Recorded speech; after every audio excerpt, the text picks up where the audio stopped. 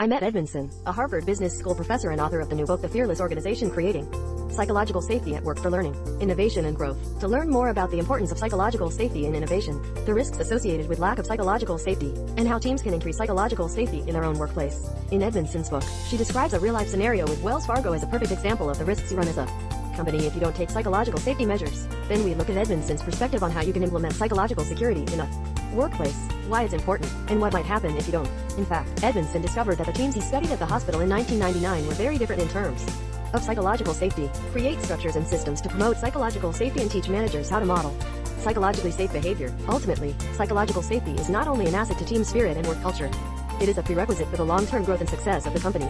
Now that we have explored the importance of psychological safety and the different ways to increase psychological safety in your own workplace, let's look at one last scenario what could happen if psychological safety is not practiced.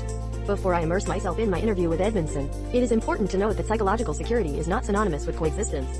As I had originally planned, in the end, Google discovered that a standard for teamwork is more critical than anything else a concept known as psychological security. Since his first results, Edmondson has conducted psychological security research at many companies, organizations, hospitals, and even government agencies. If you're a senior executive, it can be difficult to determine where your company's strengths and weaknesses lie in terms of psychological security. But first, we want to know how Edmondson discovered psychological security. A simple Google search for psychological security results in major publications such as the New York Times, Harvard Business Review and Forbes. Psychological security means creating a space where new ideas are encouraged and awaited.